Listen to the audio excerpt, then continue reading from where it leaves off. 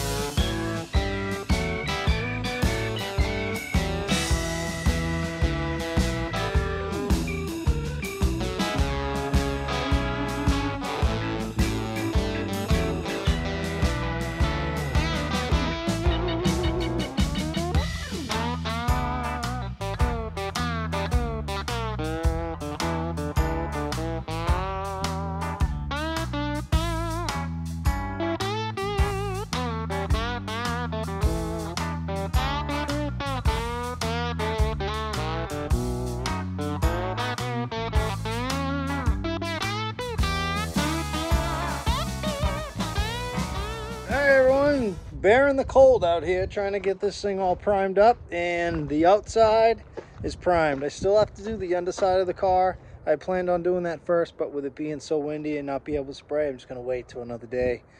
So I decided to get something done and I got the outside of the car and I'm gonna show you that right now.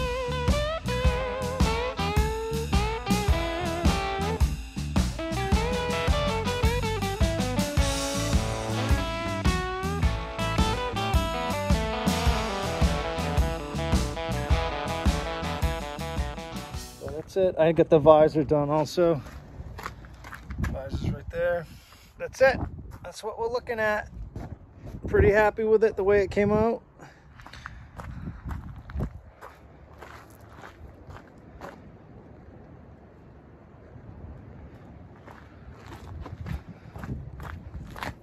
guys notice in the background my next flip car?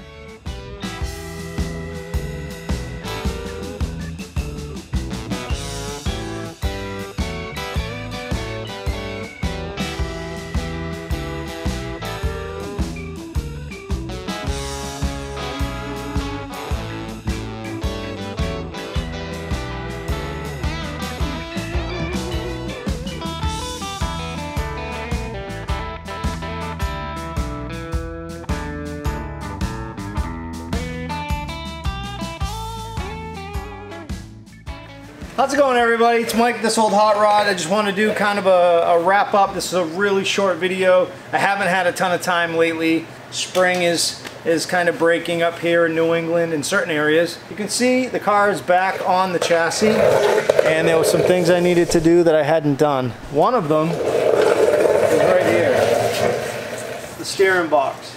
You can see when I built the firewall, I didn't have the steering column in and I forgot to drill the hole for the steering column. So I had to set the body back on, figure out the angle that I needed to cut the steering column or the hole that I needed to mount the steering column through so I could get that hole cut. So now what I need to do is I need to get the steering box, a couple holes drilled in the top of the frame rail just capped over the top of it. So once I get that done, I'll be able to get some paint on the chassis. Now I said in past videos, the frame does need to be boxed and a couple people commented on the last video and said I can see it flexing. Yes and that's why I said during the last video the frame does need to be boxed. Uh, the reason being is obviously adding a, a overhead valve V8 there's going to be a lot of flexing and twisting on the chassis and that's something that I think should be done in the future. Uh, you know I'm sure you could drive the car and be just fine but as soon as you really put your foot in it sometimes these cars have a tendency for the doors to pop open when they twist uh, it's just a really common thing. So, uh, that being said, I think that's something that's going to need to be done. And at this point, kinda, I kinda really want to get this car out of the garage. I stripped down the frame. I used my Contour SCT, the tool. I put my wire wheel attachment on it. I stripped everything down, cleaned everything up. I got the transmission cross member welded, the rear suspension mount cross member welded, I got the motor mounts welded. I finished welded the plates on the front where I dropped the radiator down. Uh, everything that I've done to the chassis thus far is finished welded. Everything's kind of cleaned up and basically ready for paint at this point. Uh, what I also ended up doing is I added a mount on the rear suspension for my torque rod and someone had mentioned oh I wish I, I wish I had, you had uh, done the torque rod I reached back out in a comment and said that I have a torque rod that was already built for my 29 sedan because I converted that to open drive but I ended up creating my own set of ladder bars essentially out of the radius rods with uh, DOM tubing so I didn't end up using the torque rod because I didn't need it. And what the torque rod is I'll show you. This is the torque rod. It's pretty straightforward. It's got heim joint ends on either end and what this does is essentially this goes next to the drive shaft and this helps eliminate rotate the rotation or the torquing of the rear axle assembly under load or, or slowing down or deceleration. Uh, what this does is this bolt mounts to this bolt goes into a mount on the rear axle on the center section of the rear axle and I'll show you that in a minute and I'll kind of show you guys how this works. So this is cut to length. I ended up having to cut it down, shortened it because it was longer on my sedan. So I ended up cutting it down for this particular application. And I got it all finished welded, painted. Uh, front suspension's painted, rear suspension's painted. Again, this it's been rainy here, and I either raining or windy, and I haven't really had any a lot of opportunities to get the underside of the car painted and inside the car painted. So I kind of just tried to stay busy with uh, some other things. So I got the torque rod all set up, axles and everything painted. Uh, I got a bunch of the little nuts and bolts and hardware painted for underneath the car also.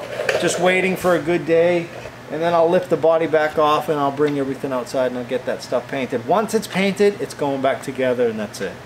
Uh, and then this thing's going to be hopefully going to its new home. So let me spin the camera around and I'll show you guys the torque rod assembly and how just the simple bracket that you make where you bolt it on or at least how I bolt it on. And um, I can't really show you the mount under the car because it's completely hidden under the car but in the process of doing every putting everything back together I'll be reattaching the torque rod and mounting the radius rods and everything. So I'll show you guys that and kind of do a quick overview of that at the same time so hopefully you'll kind of get the gist of it if you don't in this quick little video Alright, so so you can kind of see here I'm using my chassis cart as a paint cart. I got the front axle assembly in satin black paint. I threw a couple coats on the dashboard just for the heck of it. Um, the torque rod here, the glove box, and some of the suspension pieces. I have other parts also that were painted that are on the other side of the garage, but really nothing, uh, nothing of real interest. Here's the rear axle assembly.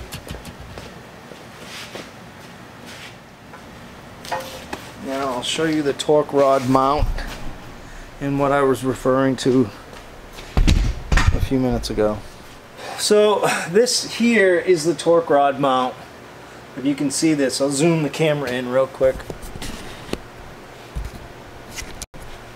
So this here is the torque rod mount and it's pretty simple. I just grabbed some longer bolts, fine thread, use longer bolts to go through the torque rod mount. So this mount is where this rod attaches to. And as I had said a few minutes ago, it essentially travels next to, this isn't the right bolt, but just for demonstration purposes, just to hold it here for a minute.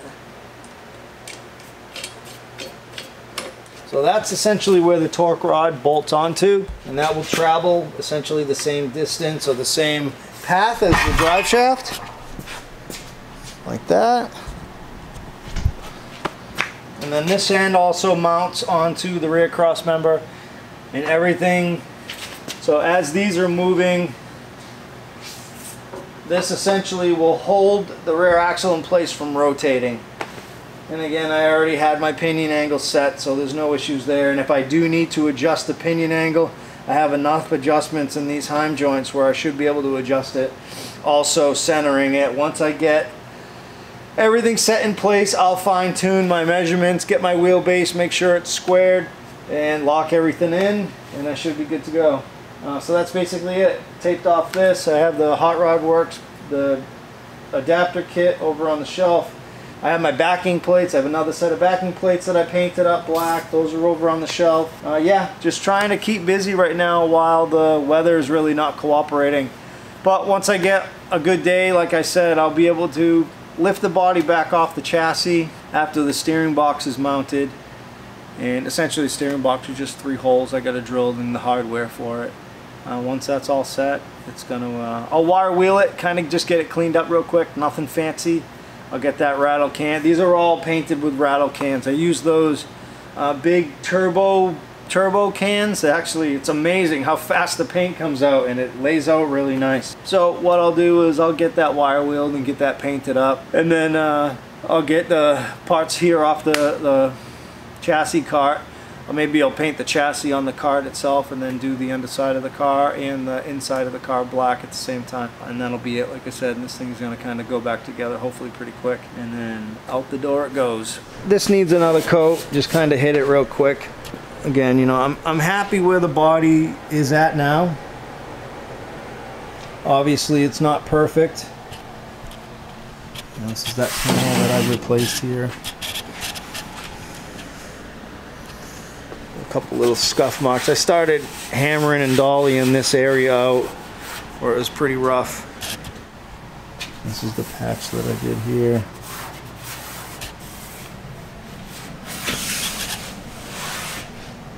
So, all in all, not too bad. There are a couple areas, like I had mentioned earlier in other videos, that still kind of need some attention. But I'm just at the point now where I'm I'm kind of done working on the thing, doing some of those little jobs. And I think the next person can do it. So yeah, so that's it. So again, like I said, the chat, the cars, the body is back on the chassis.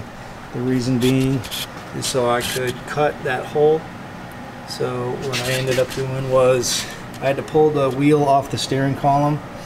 Once I was able to do that, I was able to get the steering column slid up inside the body, figure out exactly where it needs to be on the chassis, I have to adjust the column drop because what I ended up doing, I moved the body forwards, so that affected the location of the column drop. So I need to do some work on the column drop now and get that kind of reset. Once that's set and I know exactly where it's going to be, I'll get the steering box drilled and the holes drilled and everything. And like I said, I just essentially have to plate this up and over. You can see the mark on there that I've already used. So I'll end up cutting this here into going up here and then down here and then I'll cap this with 3 16 plate from the boxing plates that I have, the leftovers. And I'll get that covered up. I'll get my three holes drilled. Probably weld up some of these additional holes that we hear from for whatever. Like I had said before, everything's finished welded.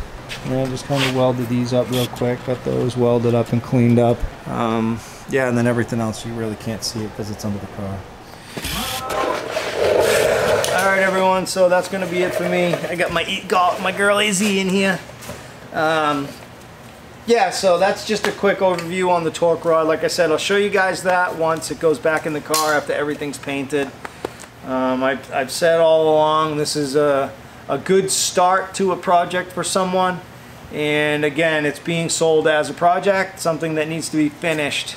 You know, yeah, that's basically it. So uh, we're gonna get gonna get everything put back together pretty soon and once that happens, we'll do a quick overview. Like I had said in one of the other videos or earlier in this video, I'm to go through my shipping container, pull out some parts that I think the next person could use on the car.